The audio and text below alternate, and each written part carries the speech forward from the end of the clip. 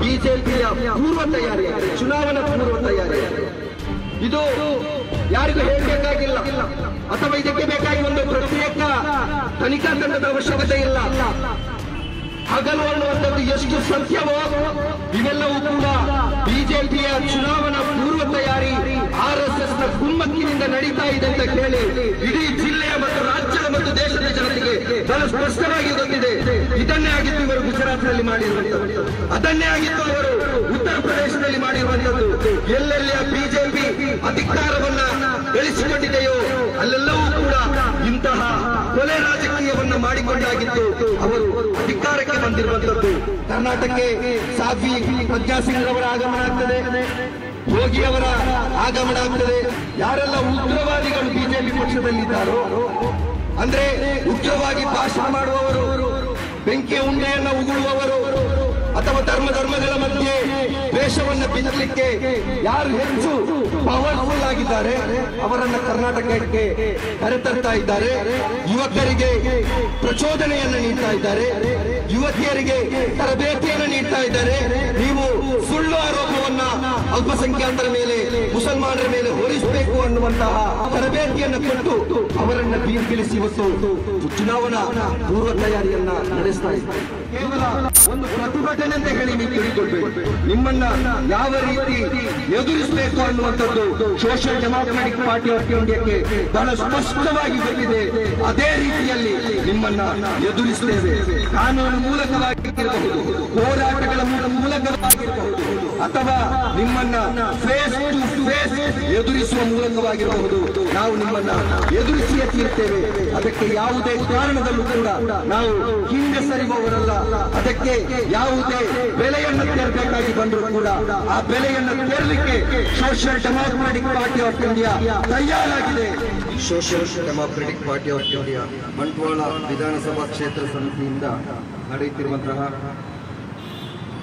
ಸಹೋದರ ಜಲೀಲ್ ಕಾಟಿಕಲ್ಲರವರ ಹತ್ಯೆಯನ್ನ ಖಂಡಿಸಿ ನಡೆಯುವಂತಹ ಈ ಒಂದು ಖಂಡನ ಸಭೆಯಲ್ಲಿರ್ತಕ್ಕಂತಹ ಎಲ್ಲ ಹೋರಾಟಗಾರರು ರಿಯಾಜ್ ಕಡುಬ್ರವರು ಬಹಳ ಸ್ಪಷ್ಟವಾದಂತಹ ಮಾತುಗಳಲ್ಲಿ ಈ ಜಿಲ್ಲೆಯಲ್ಲಿ ನಡೆಯುತ್ತಿರುವಂತಹ, ಈ ರಾಜ್ಯದಲ್ಲಿ ನಡೆಯುತ್ತಿರುವಂತಹ ತಾರತಮ್ಯ ನೀತಿಯ ಬಗ್ಗೆ ಇಲ್ಲಿ ವಿವರವಾಗಿ social democratic party of India ಅನ್ನುವಂಥದ್ದು ಒಂದು ಹುಟ್ಟು ಹೋರಾಟದ ರಾಜಕೀಯ ಪಕ್ಷವಾಗಿ ಈ ಪಕ್ಷದ ಆರಂಭ ಕಾಲಘಟ್ಟದಲ್ಲಿ ನಾವು ಹೇಳಿದ್ದೆವು, ಪಕ್ಷಕ್ಕೆ ರಾಜಕೀಯಕ್ಕಿಂತ ಮುಖ್ಯ ಈ ದೇಶದ, ಈ ರಾಜ್ಯದ, ಈ ಜಿಲ್ಲೆಯ ಜನರ ಹಿತವಾಗಿರ್ತದೆ ಮತ್ತು ಅವರ ಜೀವನ, ಜೀವ ಮತ್ತು ಸಂಪತ್ತುಗಳ ಸಂರಕ್ಷಣೆಯಾಗಿರ್ತದೆ. ಅದಕ್ಕೆ ಬೇಕಾಗಿ social democratic party of India ಯಾವತ್ತಿದ್ದರೂ ಕೂಡ ಬೀದಿಯಲ್ಲಿ ನಿಂತು ಹೋರಾಟ ಮಾಡಲಿಕ್ಕೆ ತಯಾರಿದೆ ಅನ್ನುವಂತಹ ಒಂದು ವಿಚಾರವನ್ನ ಆರಂಭಿಕ ಕಾಲಘಟ್ಟದಲ್ಲೇ ನಾವು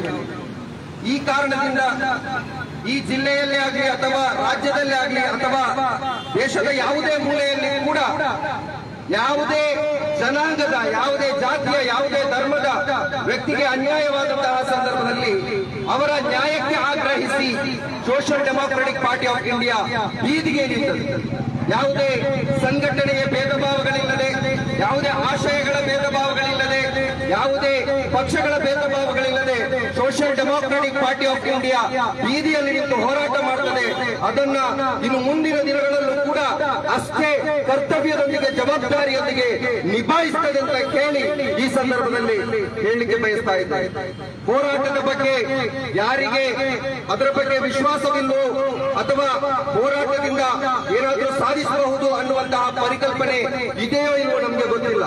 ಆದ್ರೆ ಸೋಷಿಯಲ್ ಡೆಮಾಕ್ರೆಟಿಕ್ ಪಾರ್ಟಿ ಆಫ್ ಇಂಡಿಯಾಕ್ಕೆ ಬಹಳ ಸ್ಪಷ್ಟತೆ ಇದೆ. ಒಂದು ಪ್ರಜಾಪ್ರಭುತ್ವ ವ್ಯವಸ್ಥೆಯಲ್ಲಿ ಜನರ ಜನಪರವಾಗಿರ್ತಕ್ಕಂತಹ ಹೋರಾಟಕ್ಕೆ ಈ ದೇಶವನ್ನ, ಈ ರಾಜ್ಯವನ್ನ ಆಳ್ವಿಕೆ ಮಾಡುತ್ತಿದ್ದ, ಮಾಡುತ್ತಾ ಇರುವವರು ಒಂದಲ್ಲ ಒಂದು ದಿನ ತಲೆ ತಗ್ಗಿಸಲೇಬೇಕು ಅನ್ನುವಂತಹ ಒಂದು ಆತ್ಮವಿಶ್ವಾಸ ನಮಗೆ ಇದೆ. ಅದೇ ತಲೆ ತಗ್ಗಿಸುವಿಕೆ ಆಗಿತ್ತು. ಎನ್ಆರ್ಸಿ ಹೋರಾಟದಲ್ಲಿ ಈ ದೇಶವನ್ನು ಆಳುವಂತಹ ಸರ್ಕಾರಗಳು ತಲೆ ತಗ್ಗಿಸಿರುವಂತದ್ದು, ರೈತಾಪಿ ವರ್ಗ ಮಾಡಿದಂತಹ ಹೋರಾಟಕ್ಕೆ ತಲೆ ತಗ್ಗಿಸಿರುವಂತದ್ದು. ನಾವು ಜಾಗೃತಿಗೊಳ್ಬೇಕಾಗಿದೆ. ದಕ್ಷಿಣ ಕನ್ನಡ ಜಿಲ್ಲೆಯಲ್ಲಿ ಏನಾಗ್ತಾ ಇದೆ ಅಂತ ಹೇಳಿದ್ರೆ, ಬಿಜೆಪಿ ಇವತ್ತು ತನ್ನ ಚುನಾವಣಾ ಪೂರ್ವ ತಯಾರಿಯನ್ನು ಮಾಡ್ತಾ ಇದೆ. ಹಿಂದೆ ಒಂದು ಕಾಲ ಇತ್ತು, ಚುನಾವಣಾ ಪೂರ್ವ ತಯಾರಿ ಅಂತ ಹೇಳಿದ್ರೆ ನಮ್ಮ ಊರಿನ ರಸ್ತೆಗಳು ಡಾಮರೀಕರಣವಾಗ್ತವೆ.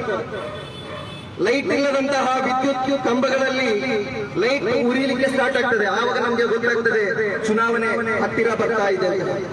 ಚರಂಡಿಗಳ ಕೆಲಸಗಳು ಶುರುವಾಗ್ತದೆ ಕೆಲವೊಂದು ಅರ್ಧಕ್ಕೆ ನಿಂತಹ ಕಾಮಗಾರಿಗಳು ಶುರುವಾಗ್ತದೆ.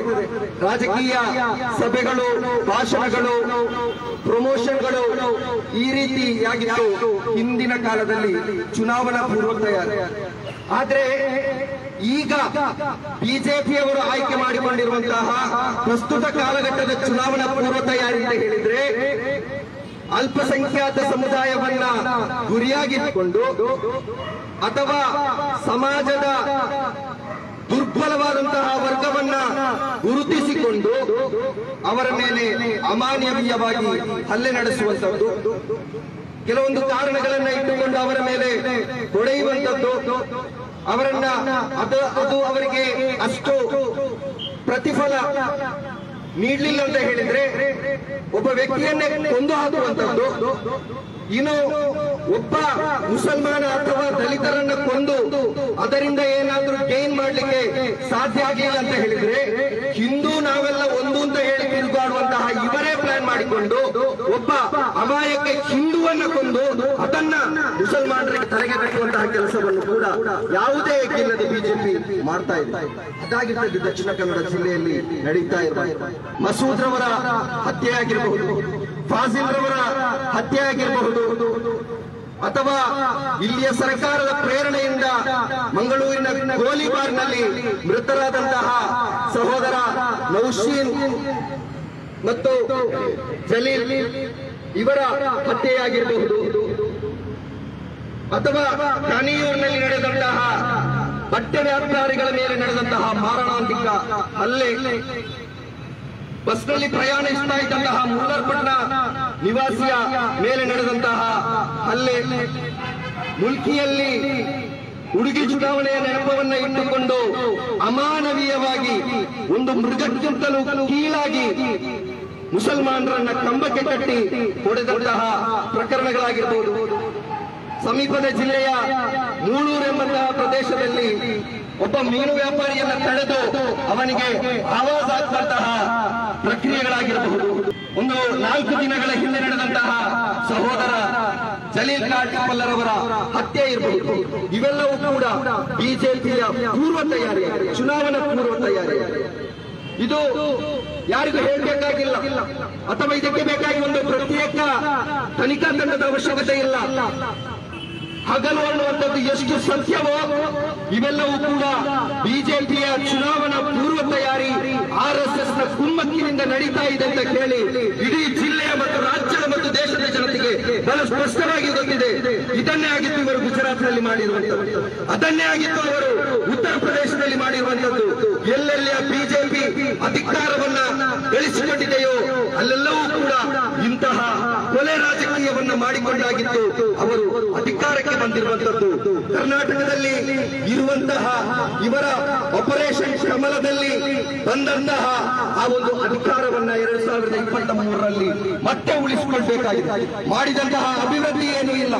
ಮಾಡಿದಂತಹ ಒಳ್ಳೆಯ ಕೆಲಸಗಳೇನಿಲ್ಲ. ಮಾನವೀಯತೆಯ ಒಂಚೂರು ಕನಿಕರ ಇಲ್ಲ. ಇದು ಯಾವುದು ಇಲ್ಲದೆ ಎರಡು ಸಾವಿರದ ಇಪ್ಪತ್ತ ಮೂರರ ಚುನಾವಣೆಗೆ ಪೂರ್ವ ತಯಾರಿಯನ್ನ ಈ ರೀತಿಯಾಗಿ ಮಾಡ್ತಾ ಇದ್ದಾರೆ. ಕರ್ನಾಟಕಕ್ಕೆ ಸಾಫಿ ಪ್ರಜ್ಞಾ ಸಿಂಗ್ ರವರ ಆಗಮನ ಆಗ್ತದೆ. ಯೋಗಿ ಅವರ ಆಗಮನ ಆಗ್ತದೆ. ಯಾರೆಲ್ಲರೂ ಉಗ್ರವಾದಿಗಳು, ಯಾರೆಲ್ಲ ಉಗ್ರವಾದಿಗಳು ಬಿಜೆಪಿ ಪಕ್ಷದಲ್ಲಿದ್ದಾರೋ, ಅಂದ್ರೆ ಉಗ್ರವಾಗಿ ಭಾಷಣ ಮಾಡುವವರು ಬೆಂಕಿ ಉಂಡೆಯನ್ನ ಉಗುಳುವವರು ಅಥವಾ ಧರ್ಮ ಧರ್ಮಗಳ ಮಧ್ಯೆ ದ್ವೇಷವನ್ನ ಬಿತ್ತಲಿಕ್ಕೆ ಯಾರು ಹೆಚ್ಚು ಪವರ್ಫುಲ್ ಆಗಿದ್ದಾರೆ, ಅವರನ್ನ ಕರ್ನಾಟಕಕ್ಕೆ ಕರೆತರ್ತಾ ಇದ್ದಾರೆ. ಯುವಕರಿಗೆ ಪ್ರಚೋದನೆಯನ್ನ ನೀಡ್ತಾ ಇದ್ದಾರೆ. ಯುವತಿಯರಿಗೆ ತರಬೇತಿಯನ್ನು ನೀಡ್ತಾ ಇದ್ದಾರೆ.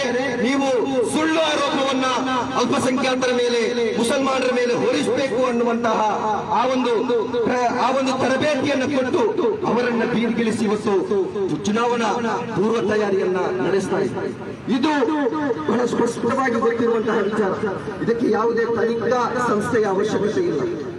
ಆದ್ರೂ ಈ ಎಲ್ಲಾ ವಿಚಾರಗಳು ಗೊತ್ತಿದ್ರೂ ಕೂಡ ನಮ್ಮ ದಕ್ಷಿಣ ಕನ್ನಡ ಜಿಲ್ಲೆಯ ಮತ್ತು ಕರ್ನಾಟಕದ ಪೊಲೀಸ್ ಇಲಾಖೆ ಏನ್ ಮಾಡ್ತಾ ಇದೆ ಅಂತ ಹೇಳಿದ್ರೆ, ಅವರ ನಿರ್ದೇಶನದಂತೆ ಅಥವಾ ಅವರು ಕೈ ಹಿಡಿದು ತಮ್ಮ ಕಚೇರಿಗೆ ತಂದುಕೊಡುವಂತಹ ವ್ಯಕ್ತಿಗಳನ್ನ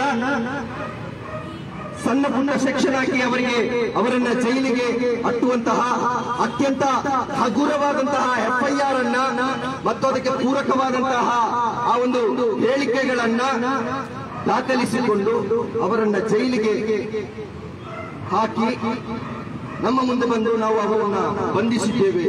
ನೀವು ಶಾಂತಿಯನ್ನ ಕಾಪಾಡಬೇಕು. ಅಯ್ಯೋ, ಶಾಂತಿಯನ್ನ ಕಾಪಾಡಬೇಕಾದವರು ಯಾರು?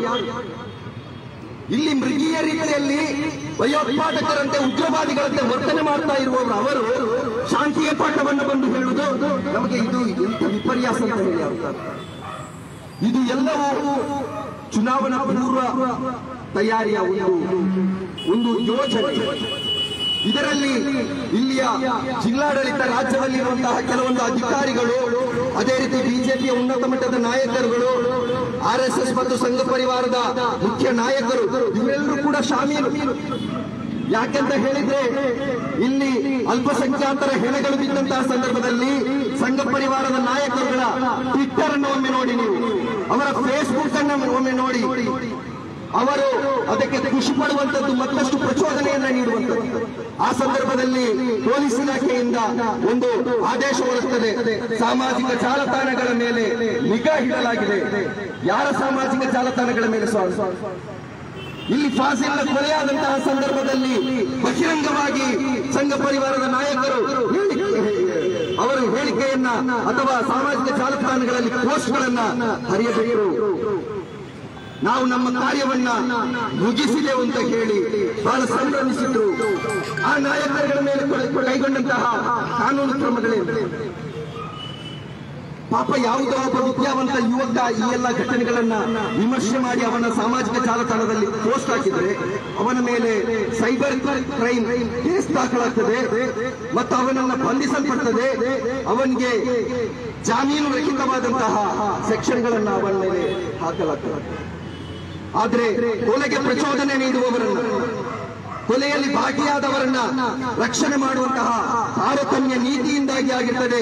ಇವತ್ತು ದಕ್ಷಿಣ ಕನ್ನಡ ಜಿಲ್ಲೆ ಮತ್ತು ಕರ್ನಾಟಕ ಮತ್ತೊಂದು ಉತ್ತರ ಪ್ರದೇಶವಾಗಲಿಕ್ಕೆ ಹೊರಟಿರುವಂತದ್ದು ಇದನ್ನ ಇಲ್ಲಿಯ ಜಿಲ್ಲಾಡಳಿತ ಮತ್ತು ಪೊಲೀಸ್ ಇಲಾಖೆ ಅರ್ಥ ಮಾಡಿಕೊಳ್ಬೇಕಾಗಿದೆ. ಜಿಲ್ಲೆಯಲ್ಲಿ ಶಾಂತಿಯನ್ನ ಉಂಟು ಮಾಡಲಿಕ್ಕೆ ನೀವು ನಮ್ಮೊಂದಿಗೆ ಮನವಿಯನ್ನು ಮಾಡಬೇಕಾದಂತಹ ಅವಶ್ಯಕತೆ ಇಲ್ಲ. ಈ ದೇಶದ, ಈ ರಾಜ್ಯದ, ಈ ಜಿಲ್ಲೆಯ ಮುಸಲ್ಮಾನರು ಮತ್ತು ದಲಿತರು ಅವರು ಎಂದಿಗೂ ಪ್ರಿಯರಾಗಿದ್ದಾರೆ ನೀವು ಶಾಂತಿಗಾಗಿ ನಮ್ಮನ್ನ ಮನವಿ ಮಾಡುವಂತಹ ಅವಶ್ಯಕತೆ ಇಲ್ಲ. ಅದಕ್ಕೆ ಬದಲಾಗಿ ನಿಷ್ಠೆಯಿಂದ ನಿಮ್ಮ ಕರ್ತವ್ಯವನ್ನು ಪಾಲಿಸಿ.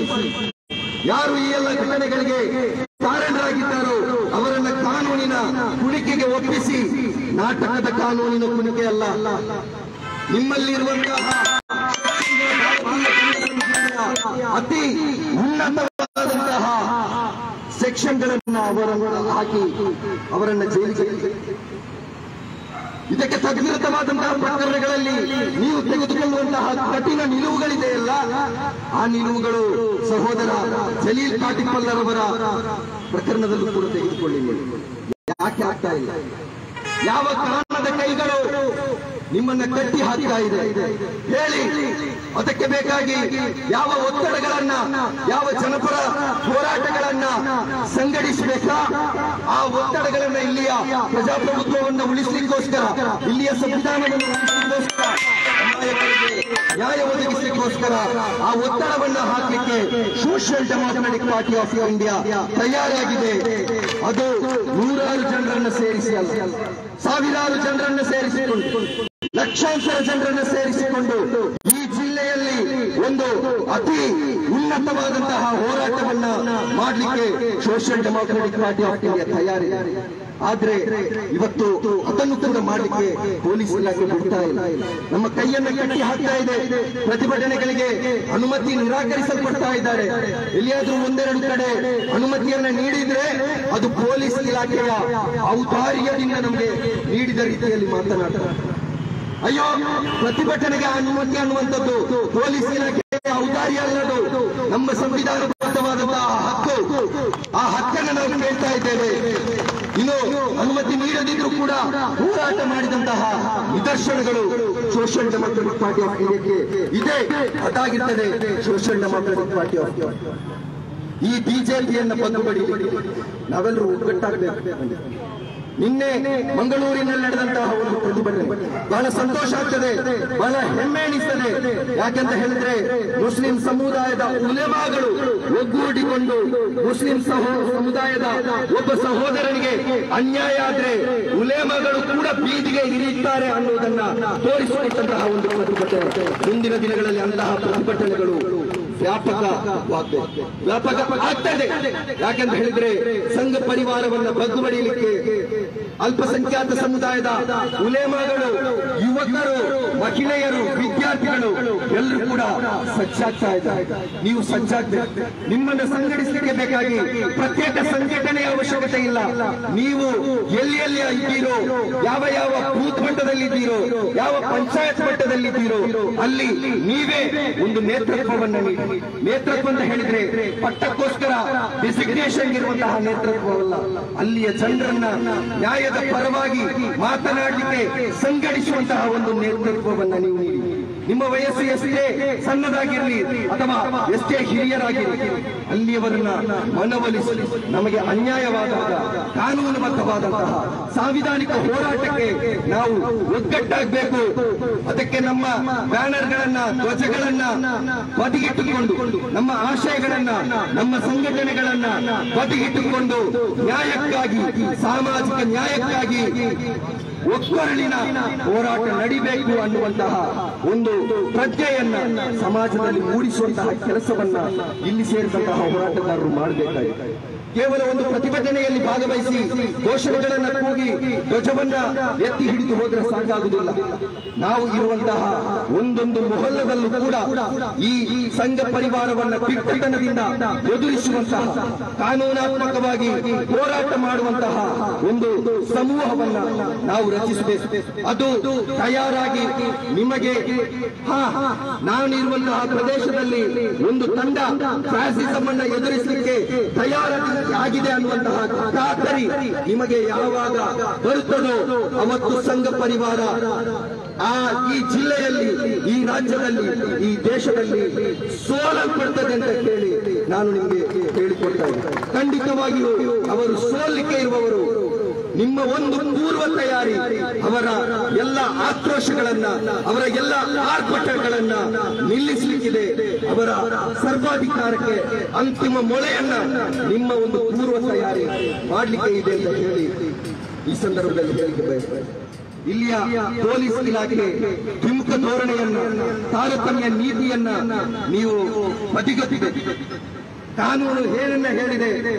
ನಿಮ್ಮ ಕರ್ತವ್ಯ ಪ್ರಜ್ಞೆಯೊಂದಿಗೆ ನೀವು ಕಾರ್ಯನಿರ್ವಹಿಸುವುದಾದರೆ ಈ ಜಿಲ್ಲೆ ಶಾಂತಿಯುತವಾಗಿರ್ತದೆ ಅನ್ನುವುದನ್ನ ನಾನು ನಿಮಗೆ ಮತ್ತೊಮ್ಮೆ ನೆನಪಿಸ್ತಾ ಇದ್ದೇನೆ. ಜಿಲ್ಲೆಯ ಶಾಂತಿಯನ್ನ ಕಾಪಾಡಬೇಕಾಗಿರುವಂತದ್ದು ಜಿಲ್ಲೆಯ ಜನತೆಗಿಂತ ಹೆಚ್ಚಿನ ಜವಾಬ್ದಾರಿ ಈ ಜಿಲ್ಲೆಯನ್ನ ಆಡಳಿತ ಮಾಡುವಂತಹ ಪೊಲೀಸ್ ಇಲಾಖೆ ಮತ್ತು ಜಿಲ್ಲಾಡಳಿತಕ್ಕೆ ಇದೆ. ನೀವು ನಿಮ್ಮ ಕಾನೂನನ್ನ ಮತ್ತಷ್ಟು ಬಿಗಿಗೊಳಿಸಿದರೆ ಇಲ್ಲಿ ಆರ್ ಮತ್ತು ಸಂಘ ಪರಿವಾರ ಮತ್ತು ಬಿಜೆಪಿಯ ಗೂಂಡಾಗಿರಿಯ ಆ ಒಂದು ಪ್ರವೃತ್ತಿ ಕೊನೆಗೊಳ್ಳುತ್ತದೆ ಅದರೊಂದಿಗೆ ಜಿಲ್ಲೆಯ ಶಾಂತಿ ನೆಲೆಗೊಳ್ಳುತ್ತದೆ ಅನ್ನುವಂತಹ ಸಂದೇಶದೊಂದಿಗೆ ನಮ್ಮ ಹೋರಾಟ, ನಮ್ಮ ಈ ಒಂದು ಸಂಘರ್ಷ ಇದೇ ರೀತಿ ನಿರಂತರವಾಗಿ ನಡೆಯಲಿ. ಸಂಘ ಪರಿವಾರದ ವಿರುದ್ಧದ ಧ್ವನಿಗಳು ಸೋಷಿಯಲ್ ಡೆಮಾಕ್ರೆಟಿಕ್ ಪಾರ್ಟಿ ಆಫ್ ಇಂಡಿಯಾದ ಪ್ರತಿ ಕಾರ್ಯಕರ್ತರ ರಕ್ತದ ಕಣ ಕಣದಲ್ಲೂ ಉಳಿಯಲಿದೆ. ಇನ್ನು ಮುಂದಿನ ದಿನಗಳಲ್ಲೂ ಕೂಡ ನಿಮ್ಮನ್ನ ಯಾವ ರೀತಿ ಎದುರಿಸಬೇಕು? ಕೇವಲ ಒಂದು ಪ್ರತಿಭಟನೆ ಅಂತ ಹೇಳಿ ನೀವು ತಿಳ್ಕೊಳ್ಬೇಕು ನಿಮ್ಮನ್ನ ಯಾವ ರೀತಿ ಎದುರಿಸಬೇಕು ಅನ್ನುವಂಥದ್ದು ಸೋಷಿಯಲ್ ಡೆಮಾಕ್ರೆಟಿಕ್ ಪಾರ್ಟಿ ಆಫ್ ಇಂಡಿಯಾಕ್ಕೆ ಬಹಳ ಸ್ಪಷ್ಟವಾಗಿ ಗೊತ್ತಿದೆ. ಅದೇ ರೀತಿಯಲ್ಲಿ ನಿಮ್ಮನ್ನ ಎದುರಿಸುತ್ತೇವೆ ಕಾನೂನು ಮೂಲಕವಾಗಿರಬಹುದು, ಹೋರಾಟಗಳ ಮೂಲ- ಮೂಲಕವಾಗಿರಬಹುದು ಅಥವಾ ನಿಮ್ಮನ್ನ ಫೇಸ್ ಟು ಫೇಸ್ ಎದುರಿಸುವ ಮೂಲಕವಾಗಿರಬಹುದು ನಾವು ನಿಮ್ಮನ್ನ ಎದುರಿಸಿಯೇ ತೀರ್ತೇವೆ. ಅದಕ್ಕೆ ಯಾವುದೇ ಕಾರಣದಲ್ಲೂ ಕೂಡ ನಾವು ಹಿಂದೆ ಸರಿಯುವವರಲ್ಲ. ಅದಕ್ಕೆ ಯಾವುದೇ ಬೆಲೆಯನ್ನು ತೆರಬೇಕಾಗಿ ಬಂದರೂ ಕೂಡ ಆ ಬೆಲೆಯನ್ನು ತೆರಲಿಕ್ಕೆ social democratic party of India ತಯಾರಾಗಿದೆ. ಇಲ್ಲ ನಾವು ಸೋಲಲ್ಲ. ಅಂತಿಮ ವಿಜಯ ನಮಗೆಲ್ಲ. ಇಲ್ಲ ನಾವು ಸೋಲಲ್ಲ. ಅಂತಿಮ ವಿಜಯ ನಮಗೆಲ್ಲ. ಇಲ್ಲ ನಾವು ಸೋಲಲ್ಲ. ಅಂತಿಮ ವಿಜಯ ನಮಗೆಲ್ಲ. ಧನ್ಯವಾದಗಳು.